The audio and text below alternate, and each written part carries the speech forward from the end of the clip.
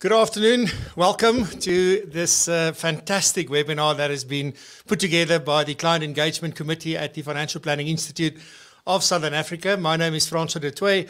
I'm your host today, and uh, what a fantastic panel we have, a phenomenally amazing panel to have this discussion. Uh, I think, as I said, this is a fantastic uh, sort of uh, initiative that uh, they have come up with to say, well, let's take the six steps of financial planning and let's overlay on top of that some innovation and technology and have let's have that discussion uh, from, with people that are doing this in practice. So really looking forward to get into this uh, this afternoon. Uh, thank you very much for for joining us, uh, and uh, I guarantee you that you're going to get a lot of value from this today. It's, it's an hour, and uh, let me get right into this. and don't forget that. you can also speak to the guests, you know, if you connect with them on LinkedIn and all of that, you're more than welcome to connect with them and have a discussion and see how you can take what are going to talk about today maybe a little bit further. So without any further ado, uh, let me introduce everybody to you. Uh, so I'm going to start at the top right. Uh, so I've got uh, Louis van der Merwe. So Louis van der Merwe, uh, Louis, just introduce yourself quickly. Uh, you know who you are for those that don't know you yet, which I think is, is, is nearly impossible. you're doing such fantastic work for the profession. but just do a quick introduction. Thanks so much, Francois. Hi, everyone. I'm Louis van der Merwe, based in Cape Town. Um, quite involved with the FPI, trying to get members engaged. I love having these type of discussions. I'm a certified financial planner, and I've been building a business with our team over the last eight years, just figuring things out, trying to implement new pieces of technology and new ways of doing things for better client experiences. Awesome. Thank you, Louis, and welcome, and thank you for your time. Uh, Amanda, so I'm going to jump over to you. So, Amanda, John is also joining us. Uh, Amanda, just give us a brief introduction of who you are and, and, where, and what it is that you do. Hi, everyone. Okay, I thought I'm muted. Hi, everybody. I hope everybody's doing well this afternoon. So, yeah, my name is Amanda John, and um, I've been in the financial services industry or other profession for about 12 years now. I'm currently an account manager for the IFA Association at Old Mutual. So I work quite closely with financial planners and financial advisors, and I drive that value proposition for them. Um, and um, yeah, I sit on the board of the FPI, and I'm the managing director of Congealed Legacy, where we do a lot of financial literacy work. I'm also passionate about the profession. Um, I do some work with the FPI as well. And I think, you know, like Francois said earlier, join us on LinkedIn, follow us on LinkedIn, because there's quite a lot of work coming in in 2021 as well. Um, you know, in, in, in particular with the with the financial planning profession, especially for women in South Africa. So I'm looking forward to some of the work that we're going to be doing next year. And yeah, thanks, um, thanks for having me, Francois. It's a pleasure, Amanda, and thank you for, for being here.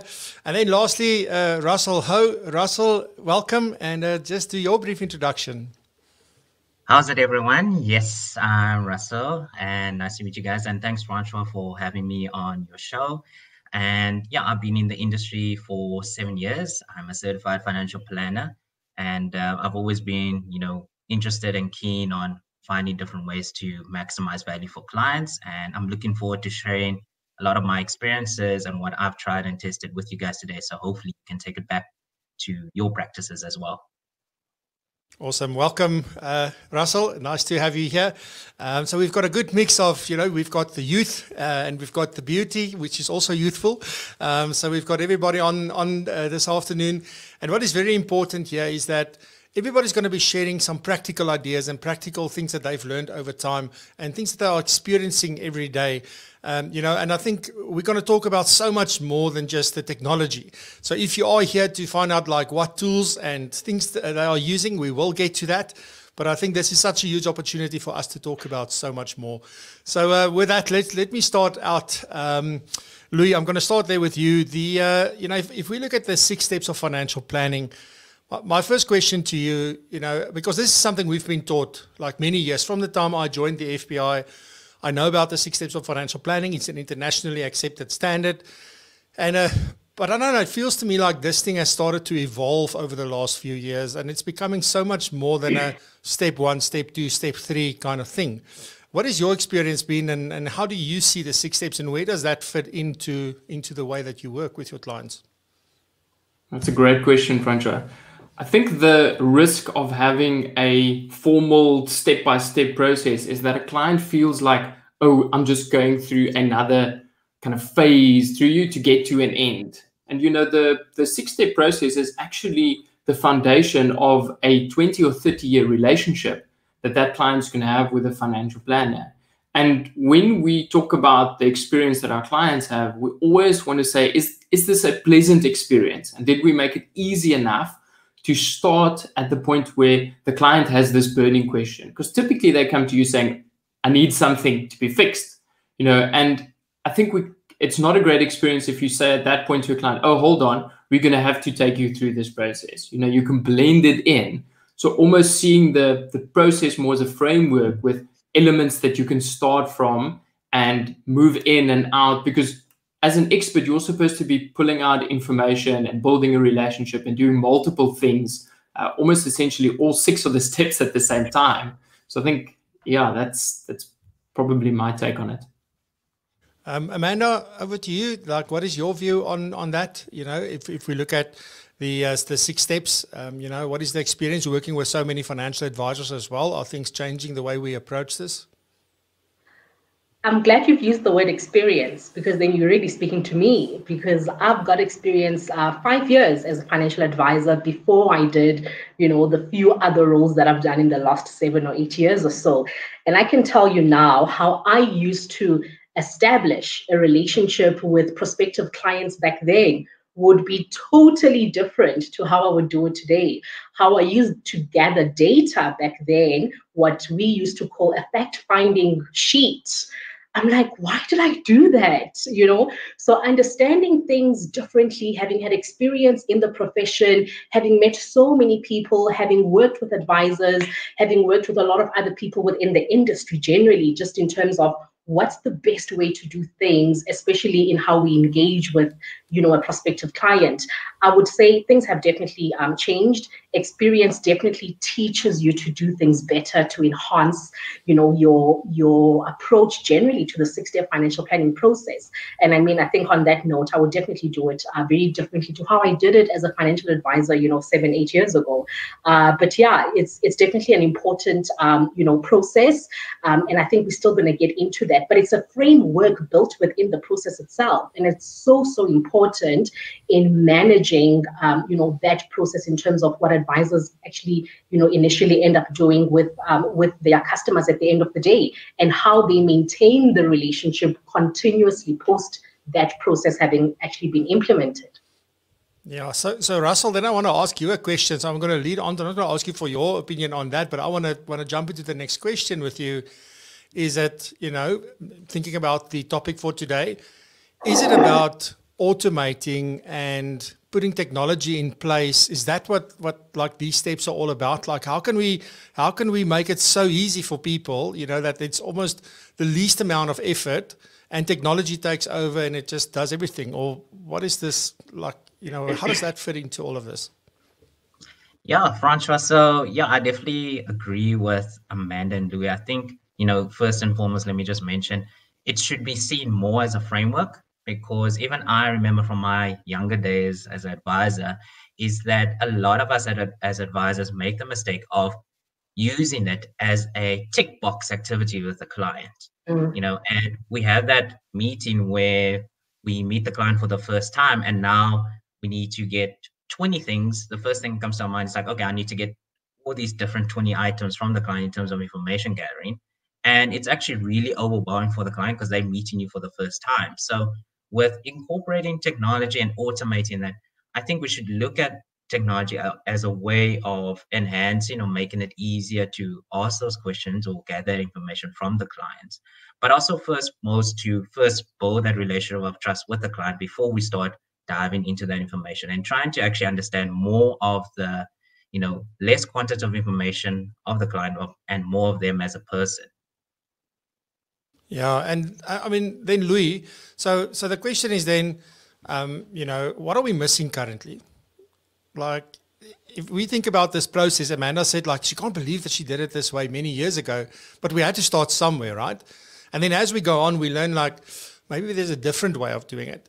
you know but what are we what do you think we're missing currently if i say we i mean most of the profession most of the industry probably you know or certain things that have really jumped out at you saying like you know what maybe i should change this it's not so much about that it's actually about something else so uh, from your point of view what's what's missing currently as far as the six steps is concerned and i think specifically the first two steps mm-hmm. so if, if we look at what that first step is right it's about building a relationship with the client and i think not that there's something missing. I think that the focus might be on the wrong element. It might be about telling them why they should trust us. You know, it might be about comforting them, saying, "Oh, we have all these laws and things to protect you." But to me, there's three really important parts in that first step, and that that's actually trust, care, and commitment. You know, and how do you demonstrate that? Well, you demonstrate that by allowing the client to speak and kind of make them feel at ease and move at the pace that the client is willing to do. So I think that we forget that that should be the focus. Um, that's that's the part that I often uh, forget about. So uh, I'm sure everyone else sits in the same boat. Yeah, absolutely. Amanda, from your point of view, let's just unmute. I heard you there say she's on mute. um, so I definitely agree with um, with Louis on that. And I think in addition, I would say it's about building rapport you know because when you talk about establishing and we need to remember what the first step is it's about establishing the relationship with that person. And i think what we need to be aware of now is and i mean i'm talking even just maybe between myself and you francois we've been talking quite a bit about saying man we should catch up you know and just get to know each other and grab coffee we partly already kind of have an idea on, you know, like about each other. We've built a bit of rapport. We've established some sort of a relationship.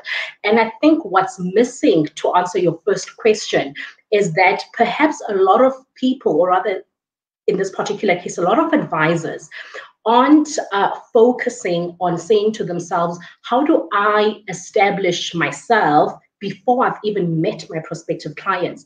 How do I, um, you know, put myself out there? How do I drive my value proposition out there in such a manner that people who will in future get to know me might not necessarily wait for that first meeting to actually happen before they get to know me. So it's almost like auto building rapport with people out in the market, customers, consumers, whatever it is, before you even actually meet them. Because unfortunately, while technology is all great, it can probably make people say, uh-uh, this is not the kind of advice I actually want to engage with, based on how you manage yourself on social media, you know, based on what they find when they actually Google you. So I always say, be Googleable let your work speaks for itself before people even meet you. Because a lot of the times you'll find when you do engage with a prospective customer for the very first time and you're ready to you know build that relationship they probably already tried to get to know you know whether are you the kind of person that they actually want to work with or probably not hmm. And I, I mean, for me, that must be one of the best things. Look, I'm an introvert, so from my point of view, that was one of the best things where people can figure out whether they like me or not, even before we've spoken, because that makes mm. a lot of things a lot easier for me. But it's so much more than that, right? Um, and I, I must say, I agree with the things that you're saying. It's so important that you know you must understand that people are sort of looking a lot of things up from from your point of view. Russel, I know you also have you know very strong views around this part, uh, sort of the before we even meet with a client or before we even get an appointment with a client. So talk to us a little bit about your your view about that. Uh, yes, so I'm pretty strong about this topic, and uh, you know, based on what Amanda said, I have actually a term for it. You need to actually build social currency you know, pre-COVID, it was already happening. And take the mentality or the analogy of, you know, if we go out to eat, right, and you're going to try out a new restaurant with your friend or your partner, the first thing you do is that you Google that restaurant. You Google that restaurant to see the reviews and to see what the food looks like and what other people are saying and whether, you know, it's a good decision to go and eat there. Now, what we find in, and this was having pre-COVID, but even more so now in COVID and coming out of COVID, is that clients are Googling you to find out, okay, what type of person you are. And that's why I think it's really important to have some form of strong social brand and more so uh, social currency so that they can actually establish, okay, this is someone that I'm going to, you know, get financial advice from, you know, and I've actually had it quite a few times in the past where with a lot of my clients that I dealt with, they came to me after like the fourth or fifth meeting and they said, you know what, I actually have to admit, I kind of stalked you on social media beforehand. And because I saw the type of person you were, that's why I decided to set up the meeting with you. And I think that's the first part. The second part, you know, relating to what Louis mentioned on the first step of establishing that relationship is that you must bear in mind that um, take into account all the tech tools and things we talk about. The technology and the tools aren't supposed to replace you as a person and the value you add in as a human being.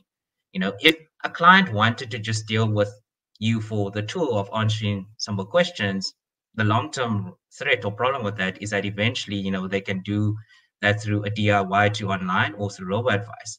You know you got to put your value out there so that the client can trust you as a person because at the end of the day they still want to do business with you because of you not because of the tools you use yeah, and my question immediately that that comes up because I'm not as young as you you people uh, at this point in time anymore. Uh, but the question I want to ask is: Is this a younger person thing? Is it the, is it young millennials, if you will, or or younger people that would go and look for social proof and want to see that what you put out there is actually what clients are experiencing, or are you finding that you know it's everybody doing that, Russel? Yeah, so it's definitely not just the millennial or the younger generation, as they call it. You know, I think it's all generations of all ages. I mean, I've had clients that are in their 40s and 50s that happen to come across, you know, my LinkedIn profile, you know, or happen to um, Google me through through friends. And you just, it's natural and human nature now where the first thing we do is like if someone mentions someone to us and say, oh, so and so is so good at investments or at financial advice and you really helped me you say, okay, that's a good person. I'm going to quickly Google them. And three things usually generally come up your LinkedIn profile, your Facebook profile, um, your Instagram, and possibly even your your personal website. And then that's how people can kind of get an idea of like, okay, this person's pretty good. They've got the same hobbies or the same tastes as I am. I have some relation with them. So I think it's a big thing of people now, no matter what age you are, are Googling you to see what type of person you are.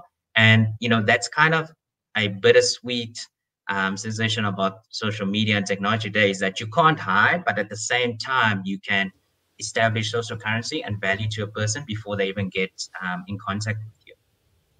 So I think that that's the first takeaway from this afternoon is that we got to understand that we're busy establishing relationships or step one then if you will from the six steps way before we even know that that person exists you know so it's such an important part of how you want to go about this. And and even if um, I, I, had a discussion the other way with uh, the other day with somebody saying, you know, that uh, they were referred to someone, but they first went and they sort of looked on social media like, you know, even so, even though I think referrals are the most powerful way that we've grown over the years and the, the most preferred way that most advisors would want to grow, even when that happens, the person being referred is still going out and seeing, looking for social proof and all of that. So that footprint, I think, is very important. And, and that would fit into innovation and technology, I think, because there's a blend uh, between those two, two things.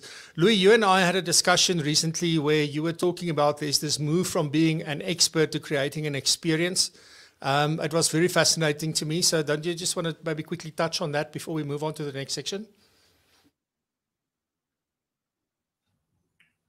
Sure. So I think where it came from was five or 10 years ago, the main focus in financial planning was going to speak to an expert. You know, someone that could predict the next return or the best asset class or the best unit trust fund. And what we've seen is that with elements of behavioral finance and coaching, it's those things are becoming less and less important because clients understand that those are things that are outside of our control. And the financial planning industry has shifted to a client experience, saying, how do we make this better for the client? Instead of saying, oh, how do I attract more clients? Let's view it from the client side, saying, if you're going in for a first meeting, financial planning meeting, I don't know how many times you've had to tell someone how much you earn, how much you've saved, what you spend money on. That creates a lot of anxiety, you know, just thinking about that. So if we think about it from a client experience, how do we make that smooth and seamless so that clients actually want to engage with us instead of that kind of fearful uh, approach where we're going to tell the clients, hey, you shouldn't be spending your money on coffee and you should be putting it into an endowment or retirement annuity. So just that industry shift um, from the focus of from expert to experience, I think is quite important. Yeah. Amanda, do you find the same?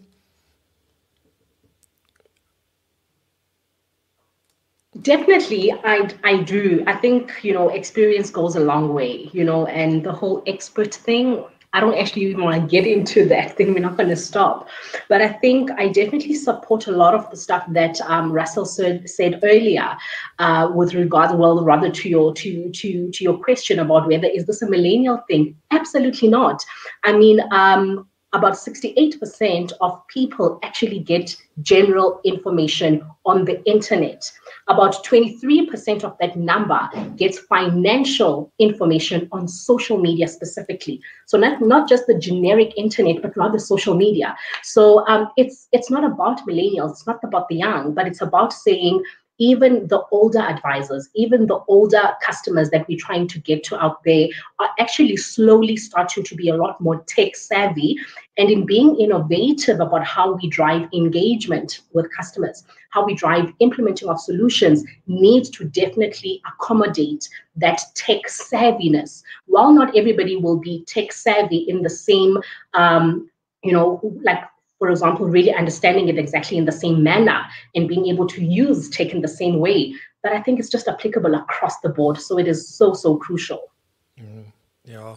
Um, so let's step off the six steps of financial planning and let's move on. And I want to talk specifically about uh, innovation. So, Louis, what does innovation really mean? I mean, if you if you had to give a definition for innovation, you know, what does that mean?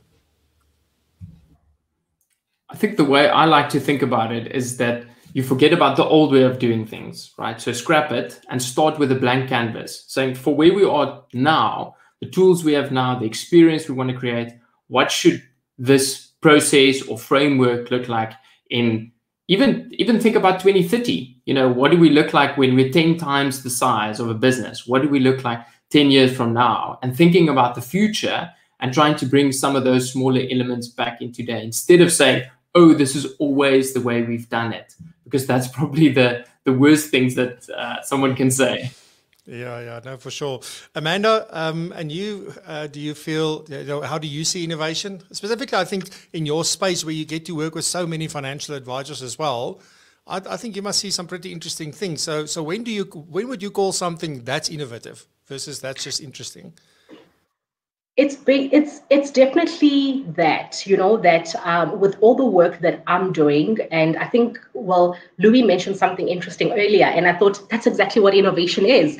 And when he introduced himself he said um, I, together with the team, are just still kind of like trying to figure it all out.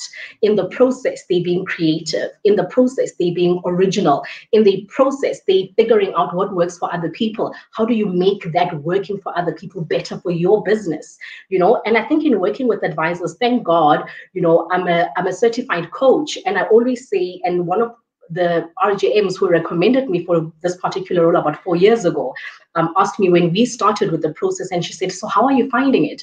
And I said, we have, we're not even far, but what I can tell you is that the program has actually made me a better person because it's helped me learn how to engage better with people. It's helped me learn how, how to identify better with different financial advisors in their different uh, practices. And I think the innovation for me in the work that I do on a daily basis definitely comes in there to say, while the program or while practice management or client engagement or elevating the client experience may be the same and the processes that we used in doing certain things within our practices and following the six step financial planning process, it's about how do you take it from a from an innovative approach to basically work for that particular client that you're dealing with to work with that particular advisor that you are dealing with or their practice. So you just have to continuously be innovative all the time. So again i mean the definition says for itself you have to be original and you have to be creative all the time. Yeah. Russel from your point of view um, how do you view down in port elizabeth? What, what does innovation mean down in pe so when you mentioned that term and what innovation means, the first thought that actually came to mind was, of course, it's like you don't have to make a new wheel; you can just reinvent the wheel, and that's the mindset I've always, uh, you know, had since the beginning. And I think the big problem or the mistake a lot of us make is we looking outwardly for innovation when you can actually look inwardly to yourself and your practice. you know, my mentality since I've started in industry has always been, okay, if I was the client, how would I find this process? How would I find the experience I'm having with you, Russel, when dealing with you? How would I find that? And that's what I work on first before I look at external factors. I would always work on innovating the client experience and I would say the client process and advice process for the client. And I think when we look at innovative tools and technology and all that, that should come secondary. And you should think about it from a point of, okay, how can I use these facilities and these tools to enhance my value and experience that I give to the clients. And I think that's where we need to actually start first before thinking of like, okay, I need to go and buy this too, this too, this too, this too for all these benefits. And what you're actually doing is that you're not actually upgrading the value personally and inwardly that you're adding to the client or, you know, um, improving that. You depending your value on external factors which you can't control. Mm. Something that is sort of really jumping out at me at this point is that, I mean, both you, Russel, and Louis, you spend an inordinate amount of time, I hope that's the right word, but that's an immense amount of time on working on your businesses, learning new things, seeing what it, what people are doing overseas.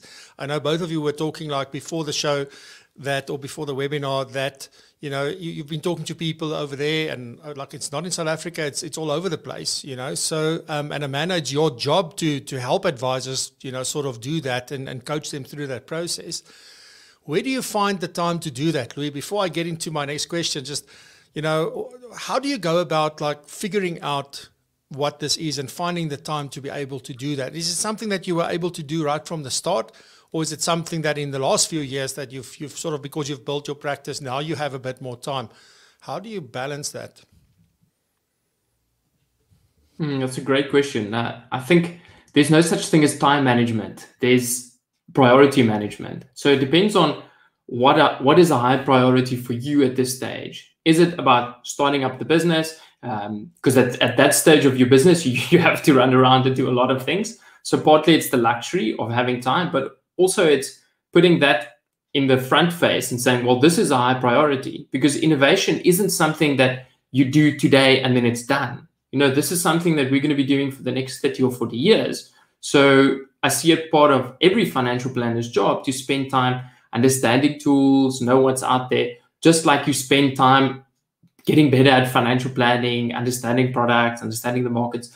These are all things that come to the mix. So I would say it's the priority management um, if it's something that you don't enjoy, then team up with someone. Find that person that this excites.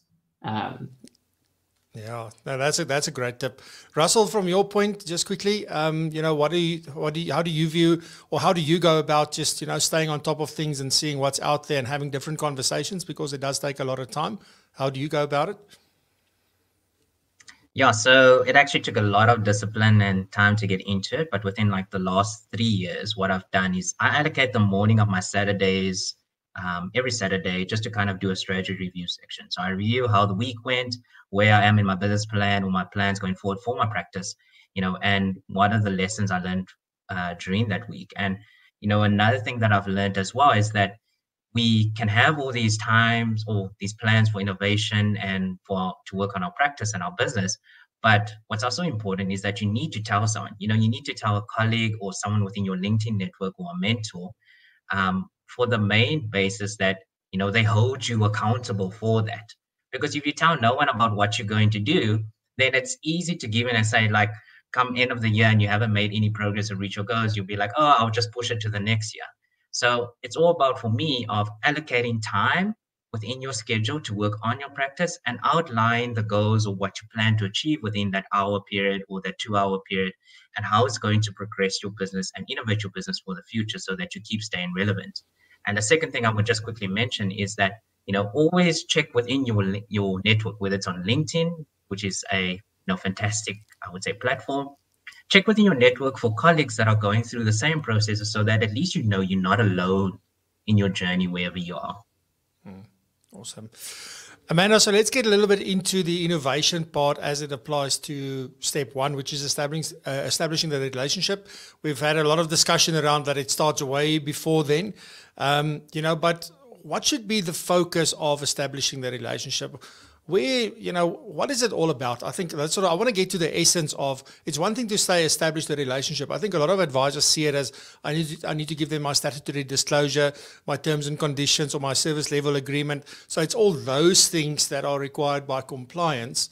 Um, but as we've now learned up to this point is that it's not about you know ticking that i've got the right forms that are signed it's about so much more than that so if we do that one what should be the focus and how do we innovate when it comes to establishing the relationship? How can we set ourselves apart when doing that?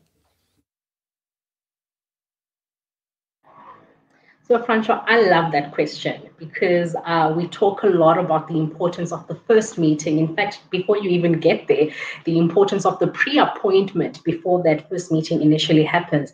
And I think you've hit the nail on the spot there to say, um, you know, um, rather on, on the head, you know, to say, um, the regulatory compliance things aren't necessarily what helps a client make a decision whether they actually want to work with you or not. Um, I think we've heard so many people say, you know, it's um, it's the you know perception that you know makes people actually either want to work with you or not work with you. And i think we've already touched on that in terms of how can you manage that on a social media front. But i think that first um, meeting with the client is so so important. Again it's not about the regulatory compliance. It's not about the disclosures. It's not necessarily even so much about your qualifications. While that adds a lot of meat to the expertise and perhaps the experience but i think what you are about what you do in your practice with your team, how you guys engage customers on an ongoing basis, following onboarding, you know, that client. People want to know what they are coming in for, as opposed to feeling like, you know, they're gonna paint all the financial advisors out there with the same brush. It shouldn't be like that. We already know that there's a lot of preconceptions. So how do we actually go about demystifying that? And I would say when you sit with, you know, a prospective client for the first time, it's about making sure they know what kind of person you are you don't have to spend a lot of time, you know, making that first meeting about you, but it's important to really, really get that right to say, get to know me, get to know what I'm about, get to know how I do my things, you know, get to know how I implement my process. And actually, know that I do have a process. I don't just leave things hanging or lingering within, you know, the framework of the work that I do and really then making it about the client. Because at the end of the day, while it's important for you as a financial advisor to ensure that you've got a you know, a, a, a, framework or a process that you follow to making that decision, whether is this the kind of person you want to work with, you need to afford that prospective client exactly the same right to say, is this the kind of financial advisor I actually want to work with? So it means it goes both ways. And within that opportunity of that very initial meeting, it's about making sure that I've let this person know exactly who I am, what I'm about, what it is that I do, why I do all of that, and that I'm committed to my clients' financial plans. You know, so yeah. Yeah, so so if I can summarize, so in one word, sort of, it's it's well not one word, but in one sentence is that you're trying to determine a good fit or perfect fit, if you will.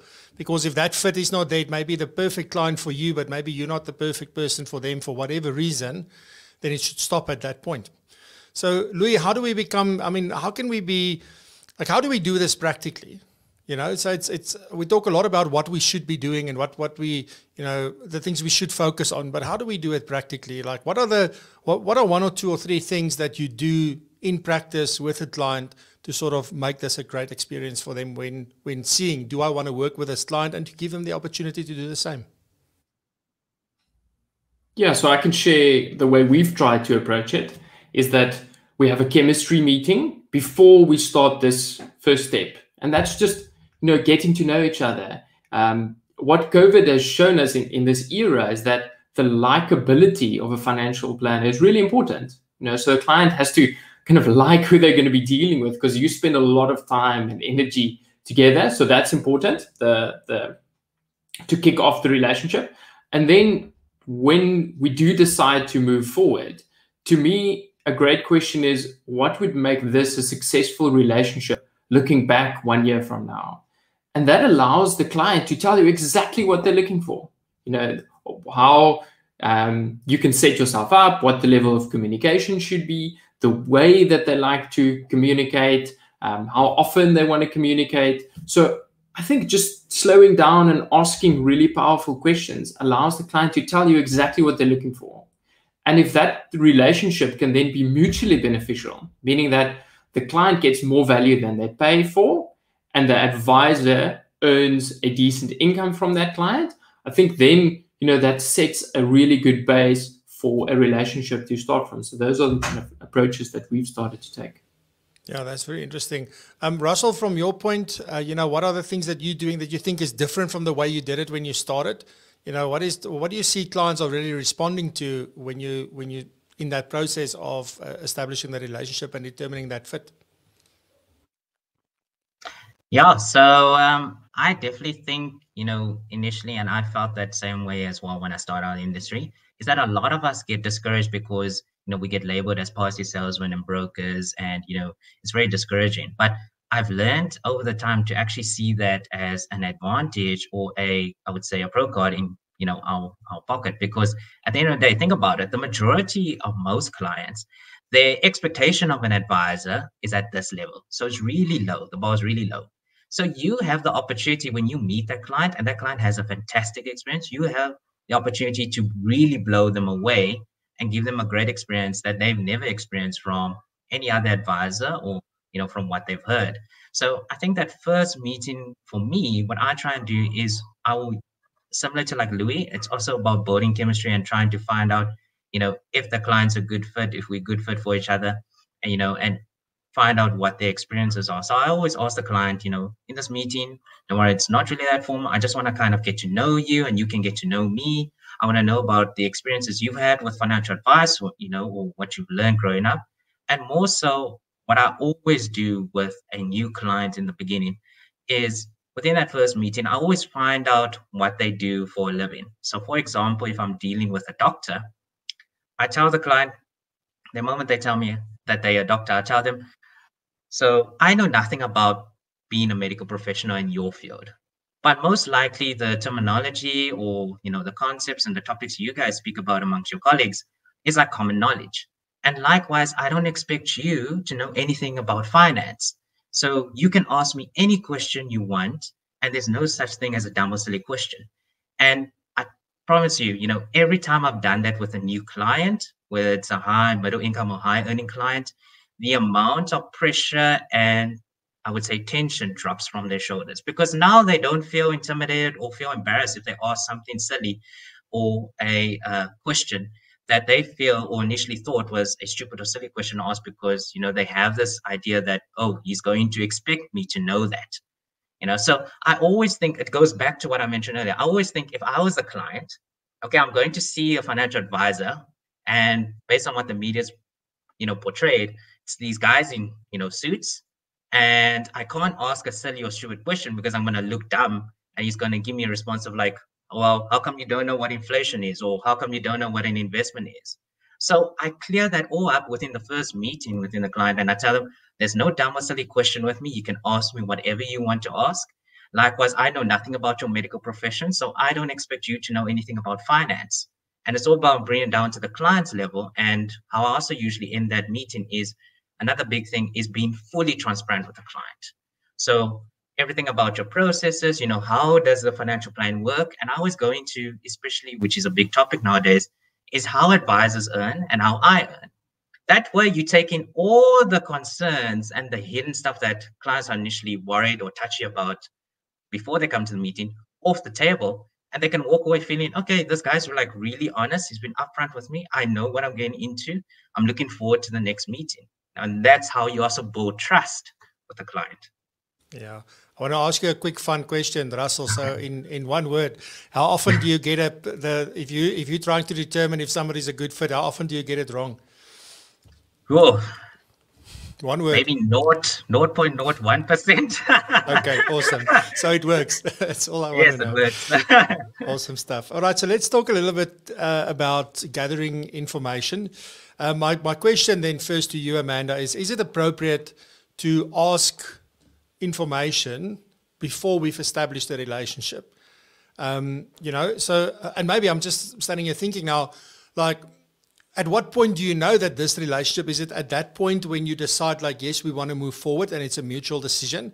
I would guess that that would be sort of the signal that now we're ready to go into the next phase you know? Or is it appropriate to send forms and say please send me your assets and liabilities income and expenses and policies so i can be prepared when we meet? So what you know what is your view on on that that's probably what I used to do eight years ago, 10, 11, 12 years ago, when I was first onboarded, you know, as an academy kind of an advisor. You know, you kind of get that, you know, disclosure and consent form signed, and it's not necessary. That's not how we do things now. I mean, while it's important to gather enough information to be able to make that decision to say this is definitely the kind of person I want to work with. Just like on the other hand, the client has enough information on you to be able to say this is definitely the kind of advisor that I think I've been looking for all along. And I think some of the important things that could possibly come up and will help advisors to really determine whether is this the kind of um, client that I want to have, you know, in in my practice. It's really understanding whether does that person have a financial advisor. And I think before I even go on to that, I think to to to answer your question question um, uh, Francois, it's not necessary, you know, to do the whole gathering of, you know, policies and um, see where they are all at, how much investments they have. Um, it's important to know that they have these things, and I think that can definitely come up in that initial conversation to say, so have you worked with a financial advisor before? If not, you know, what do you currently have in terms of, you know, knowing where your finances are at? Because you want to be able to establish whether is this the kind of person who's got that attitude that says, ah, well, you know what, I'm not the kind of person who keeps my eggs in one basket. Therefore, I've got a financial advisor here, I've got another one there, and that's the reason I'm talking to you. Personally, I don't think I would want to work with a person like that. But it's really understanding if they do already have a relationship with an advisor, why are you possibly wanting to move? What are you maybe not happy with? And I think to Louis' um, point around the question that he asks at the end, in terms of how would you want to engage me, you know, or rather, what would you expect from me, you know, in a year's time looking back? It's exactly that same discussion to say, um, you know what, I do have an advisor.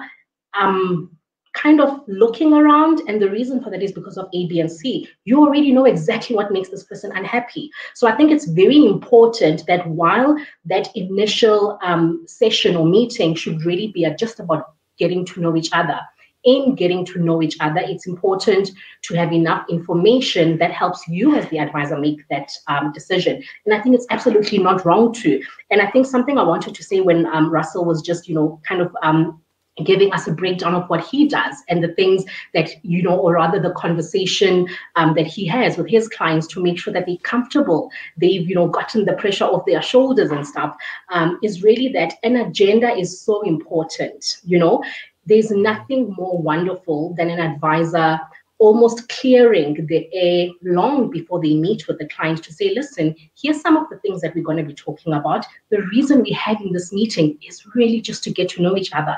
But in getting to know each other, I need to know where you are at with your finances without necessarily going into too much detail. That's still going to come in the second step, which really should be happening during that second meeting. So I think it is important to be able to gather enough information still at the first meeting just to give yourself that peace of mind that you've gotten enough information on the client for you to be able to say, is this the kind of person I actually want to work with or probably not? Yeah. Louis, so the kind of information that like when we now get to that stage where, okay, now we can talk about assets and liabilities and, and all sorts of other stuff, and that's the all sorts of other stuff I want to get into with you is, you know, what information should we be, be, be gathering as part of the process? Francois, I think that should be driven by the type of relationship that the client is expecting.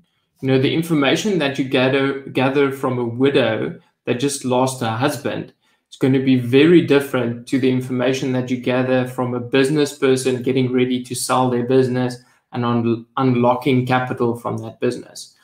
I think as the financial planner, our role has become to coordinate these things, to say, let's get in touch with your accountant and your attorney, if it's a business owner, to bring in the information and coordinate these things so that it speaks to your financial plan. And in that process, we're going to be simplifying your life and we're going to be building a financial plan that you can actually use.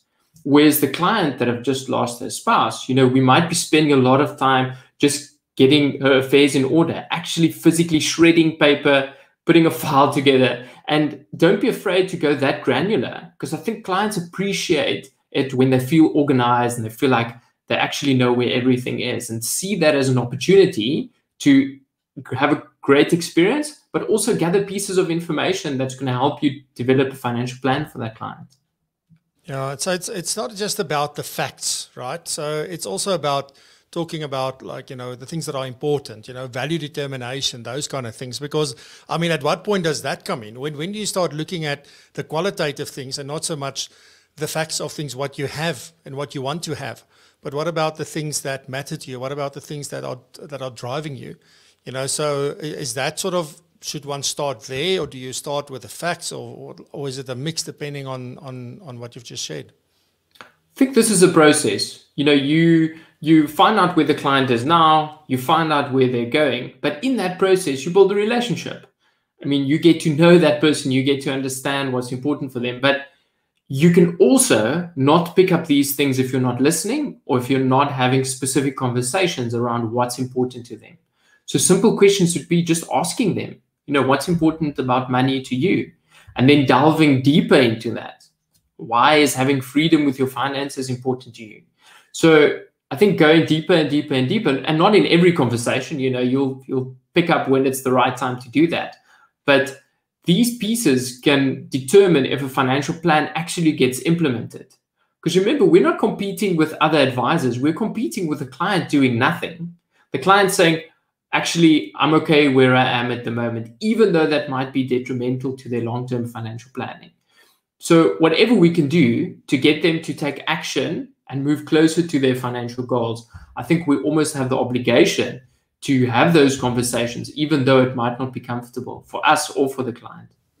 Yeah. So what I'm hearing you there saying is, you know, it, you've got to be flexible in your approach. It shouldn't be, I'm just focusing on this one thing, um, you know, in order like this is my process. So I start here, then the next thing, then the next thing, regardless of, of what it is. Um, so, so yeah, very, very important. So um, I think I'm going to step off of uh, innovation. I want to talk a little bit more about, about technology, uh, which is maybe why many people have come as well. So they, they're looking for those golden nuggets of like, look at this tool.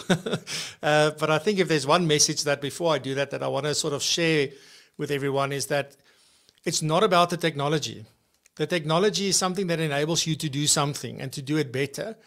But we shouldn't forget about the person and it's one of those things that I that I recently also spoke about. It's just you need to think about it when you know when you have this process and you follow this process religiously. Just be careful that you don't forget about the person and the human being, and be so set on the process that you miss opportunities to make a difference in their lives. Um, so with that leading, I was also want to jump into the, the, the technology part, Russel, with you. Um, when we when we sort of look at establishing the relationship specifically again now, so this is about, uh, as we said, like before, like obviously social media and having a an online presence or having some form of marketing effort. And then sort of where now I sit with a client or we, we're trying to engage with a client, we're trying to set a meeting. You know, what are the kind of tools and things that you use in your business? Um, and how do you go? And how do you decide when you decided on what technology to use? Just maybe a, a brief intro into like what was your thinking? How did you choose what you chose?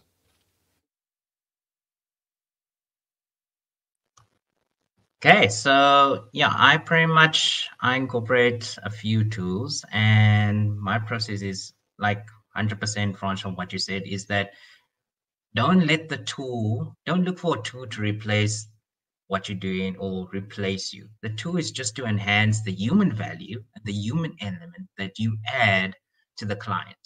You know so don't look for tool of or you know i get a lot of questions of like you know russel what is the tool that's going to do everything for me you know or do my job? The tool is not there to do your job. The tool is there to enhance the value you add in your job to your clients.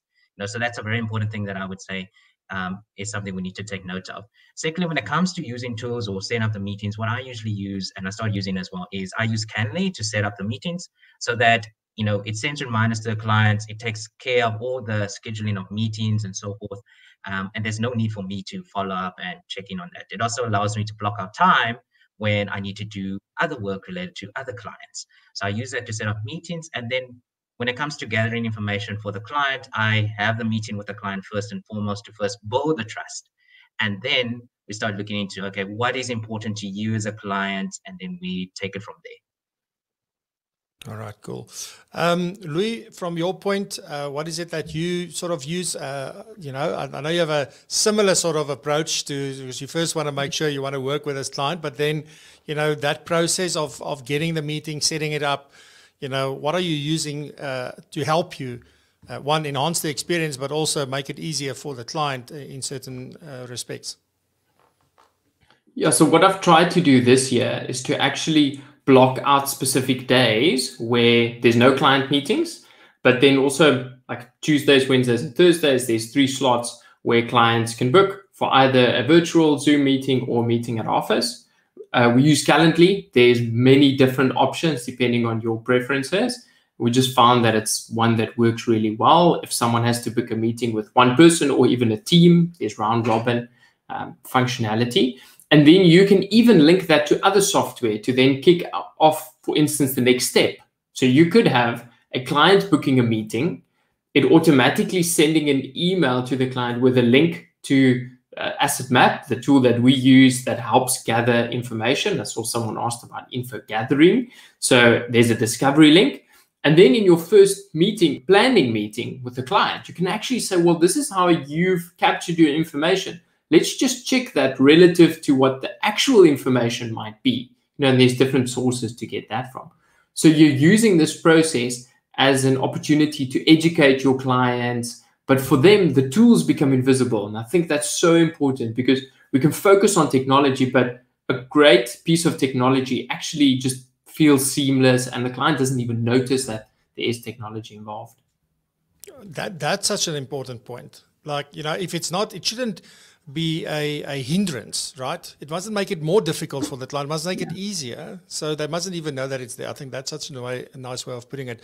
Amanda, um, you know, in, in terms of the uh, establishing the relationship, or even maybe let's move into the gathering information part. You know, uh, are there any tools that you that you sort of advise advisors to use, or things that you've maybe used yourself that you think, well, that worked really well? Um, is there anything you can share with us in terms of that?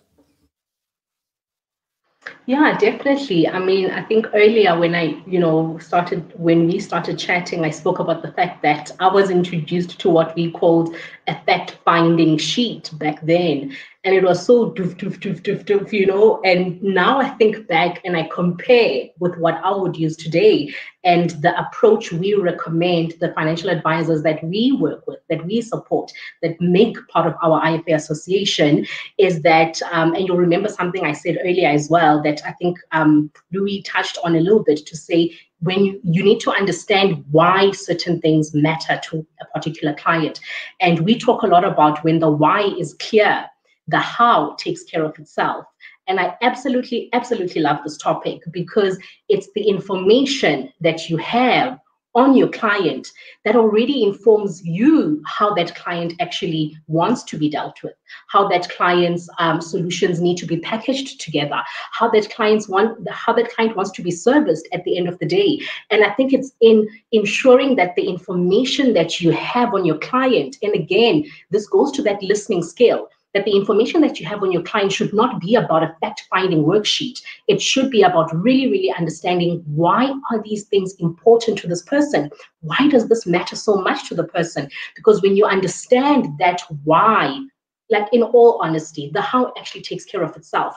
I mean, a lot of the times we do researches or you get exposed to, you know, surveys and research that tells you at the end of the day, a lot of clients don't really care about how much the products the solutions the you know all of these things where that we have to offer them at the end of the day actually cost as long as they are there to bridge a particular gap or a need that is so, so crucial to themselves and their families and actually helps them sleep well at night. So, one of the things that uh, we use in terms of just an approach, and yes, it has been integrated into uh, the CRMs and the FNA tools that we use within the business, which is Xplan currently, which has a lot of the Pareto principles really awesomely integrated into it.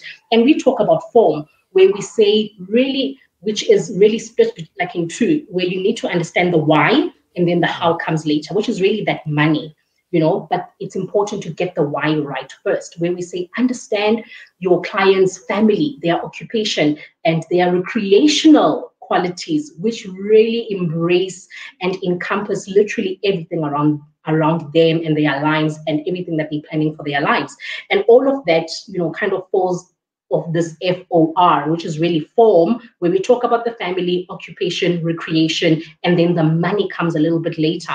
But all of that exercise is done so that you really dive into understanding why are these things important to my clients? Why is their family so important to them? And what's happening in that scope of family? What's happening in the scope of work or business? What's happening in the scope of things that I'm personally interested in. For example, if I told you as my financial advisor that, you know, in three years' time, I'd love to climb Mount Kilimanjaro, you already know there's a financial need, you know, that needs to be attached to that. So I've already told you that I need that. How you help me get there is really by you understanding all the information that I'm giving you and why this thing is so important to me. So I think it's very important for advisors to really dive into that why conversation because that conversation helps them understand what is it that I actually need to do for my client at the end of the day. The client has already told you what they need you know it's about you listening and actually implementing to suit their needs yeah, amazing. Um, there's there's one thing I want to mention because we've had now. So, so Louis was talking about that they're using Asset Map. I know Russel, you also using Asset Map. Amanda in their business is using Xplan, and this is the thing that I see often when it comes to these systems is that, you know, often a system we think that a system can't do something, but often it can be sort of adapted and built into a certain way that can do some of the things where you need to make the decision whether a specific tool is really uh, like going to be valuable for you is because it needs to fit your business. The moment you go the other way around where you're trying to to like, you know, just change your business so that it can suit the system, you're going to become frustrated. You're going to be, be like, it's not something that you would want to go through. Uh, let me put it that way.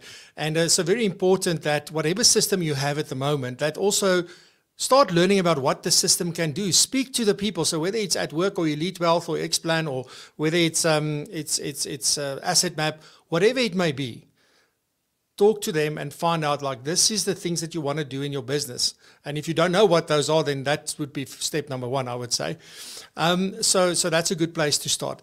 Um, Russell, let's let's do a quick summary. Is there anything that you would like to add uh, to this? Anything that you're using, things that are important to you, and things that you see that, that clients respond well to, uh, and just maybe summarize a, a, last point from from from you. Yeah, thanks, Marshall. I think the last thing I would probably add, you know, I know most of you came to this webinar and for our future webinars to hear about, you know, these amazing tools that we're using.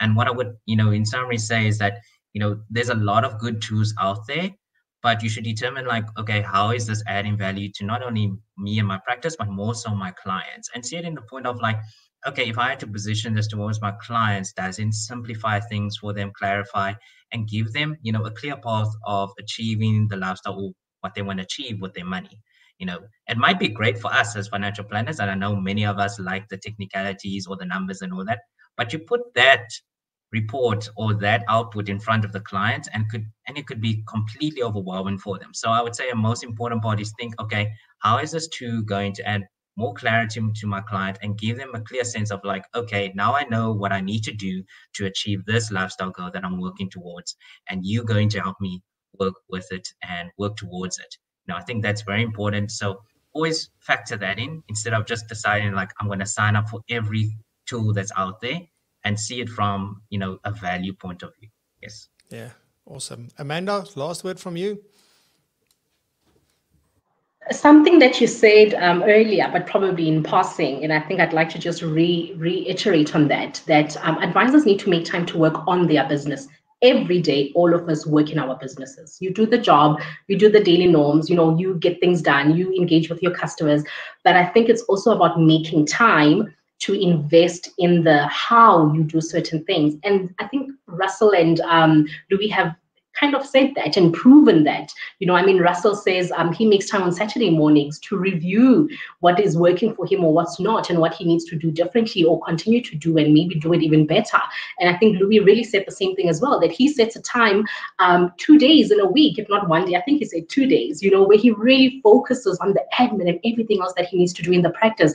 It's important to make time to work on your business because there's so many processes and principles and tools and digit this and digit that, you know, that are all over the place. But if you don't almost take things and really compress them to suit how you want your things to be done in your practice for you know the betterment of your practice processes and for the betterment of your client experience then you know you're not you're going to kind of feel a bit short there especially when it comes to client engagement and client experience because everything that we do in the practices is so that you really get a good experience with your clients and you maintain great um, customer relationships Good. Thank you, Amanda. Uh, Louis, from you, your final thought, anything you want to add? Yeah, I think to me, the framework of thinking about the three parts in in what you're delivering, right, to a client would be speed, price, and quality. And oftentimes we want to use technology to make things faster, but you can only pick two of those three right? So if you deliver something of high quality very quickly, it means that your price has to go up. If you take a long time, so uh, from a speed perspective, yeah, you pick on the price and the quality. So focus on technology that can look at each of those components, how to make things faster, how to make things less costly, and how to improve the quality. And you'll have a better outcome in your business, and you'll have a better outcome for your for your clients. Amazing.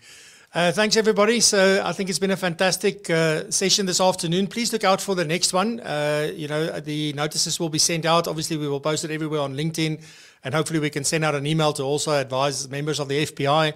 Um, so yeah, please join us then for the next in the series. We'll also be then be looking at step three and four, which is about the analysis and the recommendations. And uh, thank you very much for taking the time. If you're watching the recording, thank you for doing that as well. And uh, do share this with your colleagues, your friends, uh, you know, anybody that will take value from this. Thank you to the FPI. Thank you to the Client Engagement Committee, Dintley and her team. Uh, you know, there's some fantastic people on that committee. Thank you very much, uh, Henry and Kobus. And so Henry de Garantie, Kobus Klein, uh, Mariette Tappen. Uh, so all of you doing really a phenomenal job. Thank you for what it is that you're doing. Uh, thank you, Russel, Amanda, and Louis. It was great chatting to you. Have a good one. We'll see you next time. Bye bye.